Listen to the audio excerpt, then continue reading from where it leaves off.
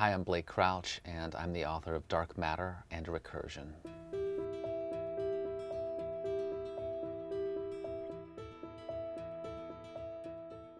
I actually put a lot of myself into my work. I don't realize it at the time that I'm writing. I do a lot of research and things like that, but when I get to the end of a book, I suddenly realize, oh, all of these themes and these actions of these characters are sort of my subconscious bubbling up and trying to perform some type of therapy on me.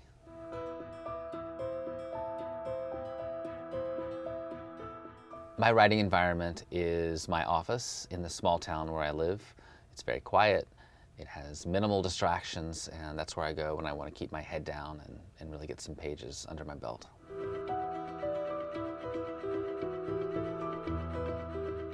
I once had a fan make a doll out of a serial killer that was a character in one of my earlier books and it was sent to my publisher because I wouldn't give up my address. And they put this package through this like, bomb detection unit, and they did all of these weird, uh, you know, investigations to make sure it wasn't going to hurt me. And then they finally opened it, and they're like, "Oh, this was a terrifying-looking doll." But it's an awesome doll, and I actually it sits on the uh, shelf in my office.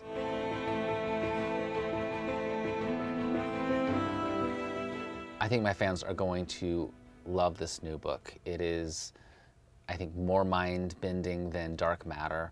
It's much larger in scope, and it tackles something that is incredibly precious to all of us, and that's memory.